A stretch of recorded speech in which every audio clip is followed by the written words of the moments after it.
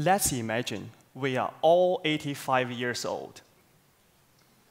You are either suffering from Alzheimer's or you are taking care of a loved one with Alzheimer's. By the year of 2050, there will be almost 14 million people in the US with Alzheimer's.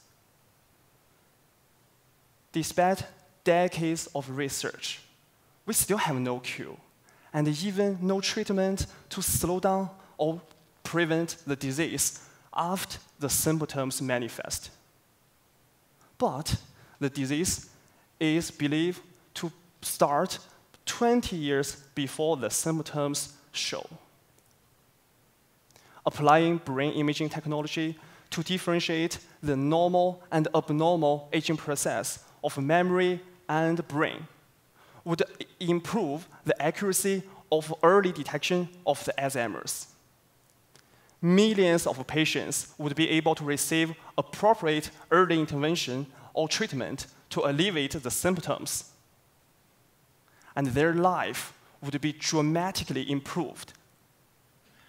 Our lab administered a non-invasive wearable device called electroencephalography or EEG on a group of healthy aging participants and recorded a high frame rate data of brain surface electrical impulses.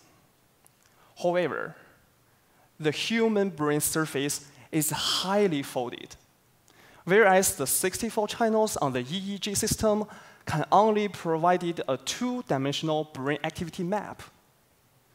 And that is unable to identify the subtle functional changes among brain structures.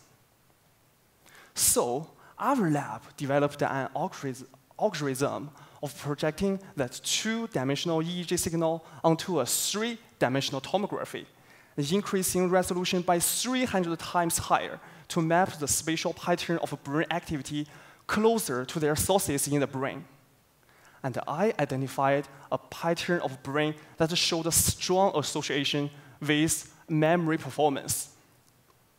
This new tool could be an effective and sensitive indicator of memory function that can detect abnormal deteriorations earlier than we can do now,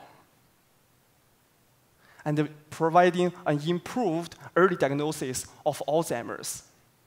Perhaps a cure of the disease is far off.